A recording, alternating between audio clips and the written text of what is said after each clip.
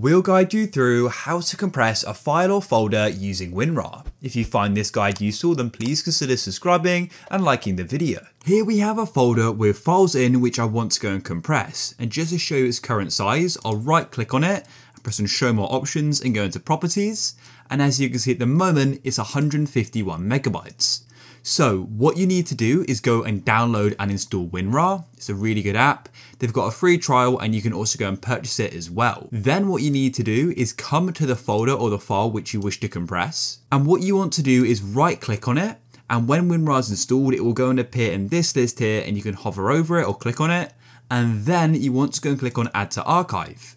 You'll then go and get this pop up here. You can go and name the archive. So I'll go and name this compressed. And then what you can do is choose your archive format. I personally use RAR, but you could use RAR4 or ZIP. And then on the right here, go to archiving options. And what I like to do is go and click on create solid archive.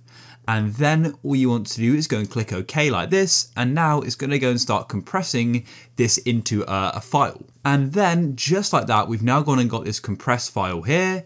And this is half the size. So now it's only 67 megabytes as you can see just there. And if you want to open up the compressed file, if you double click on it, you're going to get this pop up and you can go and select WinRAR and press always and then you can go and open it up and go and see the content inside of it. And then you can go through the files. So if you guys found this useful then please consider subscribing and liking the video.